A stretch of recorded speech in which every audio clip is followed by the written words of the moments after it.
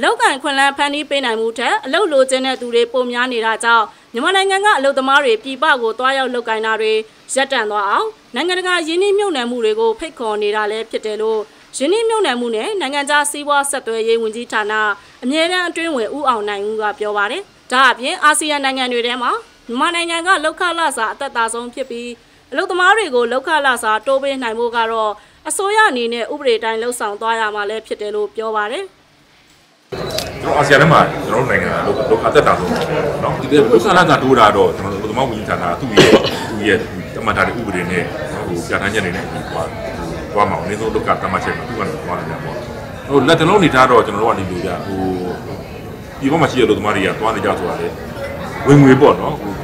မကျွန်တော်တို့ဒီမှာထရုပ်စိတ်ုံတယုံပေါ်လို့ရှိရင်အချမ်းမြတ်မဲ့လူတစ်ထောင်လောက်လောက်ကန်ခွင့်လန်းပေါ်တာတို့ကျွန်တော်တို့ဒီမှာဒီခုနပြောတဲ့ ကိုကဖန်တီးပေးတဲ့လောက်ကခွန်လန်းတဲ့ကိုလုံးလိုချင်တဲ့သူကပုံများနေတာ။ပုံများတယ်ပုံများတဲ့အတွက်ကြောင့်မလို့ကျွန်တော်ကလူသားတွေကတစ်ဖက်နိုင်ငံကိုတစ်ဖက်နိုင်ငံဥပမာထိုင်းဝိုင်းတော့တရက်ပတ်သုံးရဆိုတော့ဒုက္ခလည်းမဲ့လောက်တဲ့ဒုက္ခကျွန်တော်တို့ကဖြစ်တာ။ဒါကြောင့်မို့သွားနေကြတာနော်။ဒီမိုကရေစီနိုင်ငံမှာအလုပ်သမားတွေအနေနဲ့လိုအပ်ချက်တွေတောင်းဆိုနေတာဟာအစိုးရကိုယုံကြည်လို့လှုပ်ဆောင်နေတာဖြစ်ပြီးအလုပ်သမားတွေဆန္ဒပြတာကြောင့်ယင်းနှိမ့်မြုပ်နှံမှုတွေရပ်တန့်နိုင်တယ်ဆိုတာဟာမဖြစ်သေးဘူးလို့ဒိုမျိုးဆက်ကွန်ရက်ကပြောပါတယ်။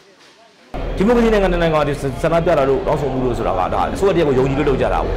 အစိုးရကိုယုံကြည်နေတဲ့နိုင်ငံတွေပဲရှိတော့မှာပေါ့တော်လိုင်းပြပဲဆင်နွှဲကြမှာပေါ့ဒီဒီမွန်းမှုနိုင်ငံနဲ့နိုင်ငံတိုင်းကအပြန်အလှန်ယူသားယူဆွဲခေါ်နေကြတာလေအလို့တမန်ကြီးအဲ့ဒါမာဘီယိုဒီမွန်းမှုတွေမလာတာအလို့တမန်ကြီးဆန္ဒပြဖို့တခုလေးတော့အကြောင်းပဲချက်တခုလေးတော့ထုတ်ပြီးချိကတာတော့မသိတော့ဘူးပေါ့နော်တကယ်ဒီမွန်းမှုတွေလာသေးဒီမွန်းမှုလာနိုင်တော့တဲ့ infrastructure တွေကျွန်တော်တို့ကရှိဖို့လိုအပ်တယ်ဖိတ်ခေါ်နိုင်မှုတွေရှိဖို့လိုအပ်တယ်ကျွန်တော်တို့လူသမားတွေလည်းကျွန်တော်တို့ကာဝယ်ဖို့လိုအပ်တယ် အမျိုးသားကော်မတီကအနည်းဆုံးလောက်ခလာစာကိုနှစ်နှစ်တစ်ကြိမ်ပြန်လည်ပြင်ဆင်ပြဋ္ဌာန်းပေးနေတယ်။အနည်းဆုံးအခကျင်းဝင်နှုံထားတဲ့ကိုမေလ14ရက်နေ့က3600ကျပ်ကနေ4800ကျပ်အဖြစ်တွန်းမြင့်သတ်မှတ်ပေးခဲ့တာလည်းဖြစ်ပါတယ်။အဲ့ဒီလိုအ ਨੇ ဆုံးအခကျင်းငွေကိုပြင်ဆင်သတ်မှတ်ပေးခဲ့ပေမဲ့လက်တွေ့မှာအလုပ်သမားတွေအနေနဲ့လုံလောက်မှုမရှိတဲ့အခြေအနေတွေနဲ့ရင်ဆိုင်နေရတာကြောင့်အ ਨੇ ဆုံးအခကျင်းငွေအမေရိကန်ဒေါ်လာ5ဒေါ်လာတိုးမြင့်တောင်းဆိုသွားမယ်လို့အလုပ်သမားအဖွဲ့အစည်းတွေကပြောပါတယ်ရှင်။